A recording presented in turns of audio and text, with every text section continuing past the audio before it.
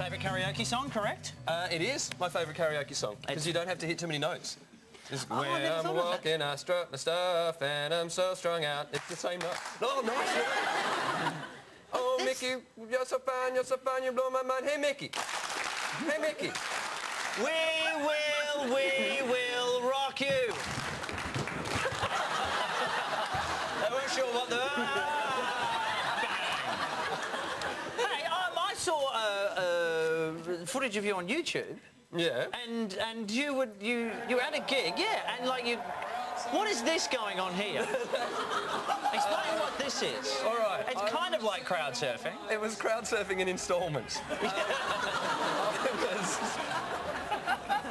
I haven't seen that footage. Was at the uh, that was at the Leeds Festival, which is this massive music festival in the UK, and um, I was up on stage, and it was one of those. It was like a massive, you know, thousand people in the audience, and there was a guy. Here's how it started. There was a guy dressed as Santa. Of course, that's, And how, I that's how it always starts. Yeah, yeah. And so I made Santa crowd surf his way to the stage, Nice. which he did. And then he stood on stage and watched me for the whole gig like this. Santa had had a few whiskies. uh, and then I got to the end of the gig and said, oh, I was starting to talk about my artificial foot. And someone in the crowd went, show us. So I went, all right, there it is. And then someone else went, crowd surf it. It. so, and I called, so I went, well, I don't know, I'm going to have to check with Santa.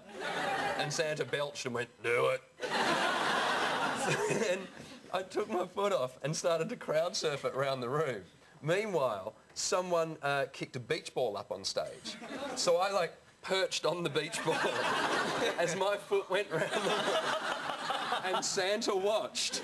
And then I made everyone sing Footloose while it happened. My favourite karaoke Your song. favourite karaoke song. Brilliant. And then as it got back to the stage, I swear to God, a guy down the front went, hey, mate, you can't sing Footloose anymore because George Michael's gay.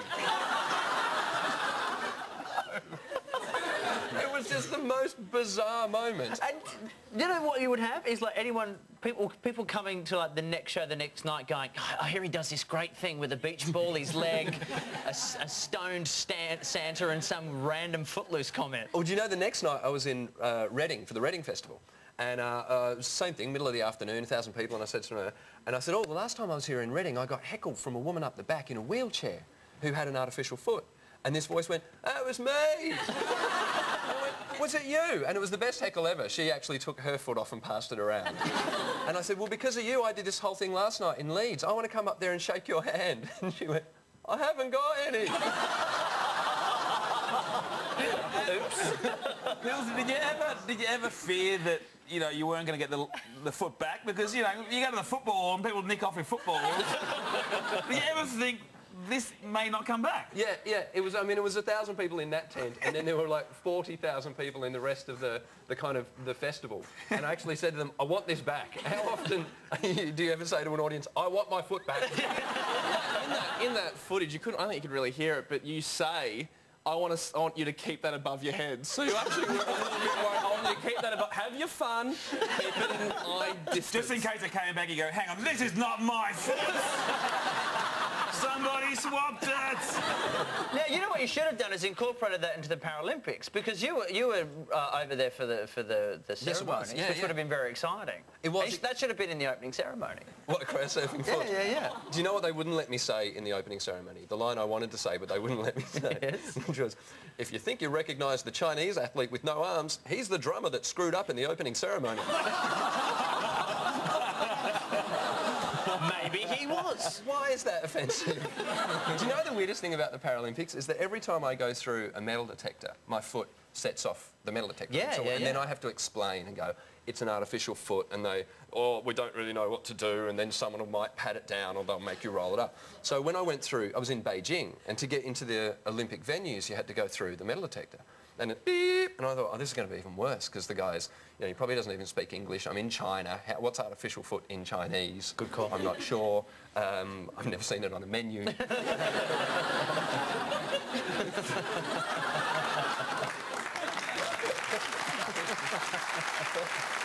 um, so I went through, beep, and I went, oh dear. I went over to the guy and went, oh, it's, uh, and he went, go through. And I went, what? He went, it's okay, go through. Thank you for your cooperation. I oh my God, why was that so easy? And then went, oh yeah, I'm at the Paralympics. I'm surprised you didn't say, is that all you got? it Would have been weird had I not set it off. But I saw the most amazing stuff. I saw, and because the thing is, the thing is that the athletes there have the most amazing sense of humour. Like people with disabilities have the sickest sense of humour and the weirdest. There was there was a, apparently a very tall Swedish woman walking around the Olympic Village hand in hand with a short-statured person, and she was like six one and he was this high, and she had a shirt on, a t-shirt, and it said, "Yes, he's my boyfriend," and an arrow pointing down. the angle. hey, Hilsey, do you want to try to win 20 bucks in 20 seconds? Do it. The others on and the other stuff, though, later. Oh, there's more stuff. No, there's more stuff. Yeah. Start the clock. Uh, were the children singing in the Paralympics opening ceremony pretty enough?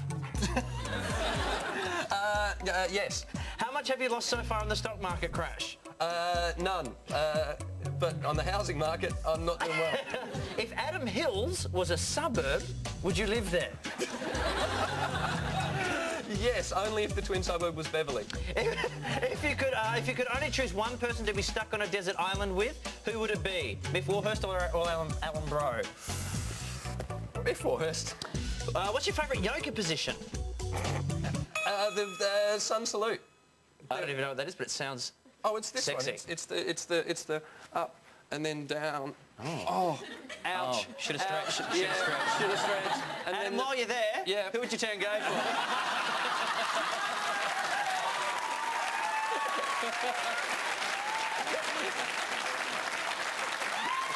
Is, is your next sentence going to be because we've got him right here? uh, the answer, by the way, would be me. oh, really? I would turn gay for me. Why the hell not? If I wasn't me, if I was like if I was sitting out there, I'd reckon I'd go me. Surely you already have. You can have the 20 bucks. there you go. Adam Hills.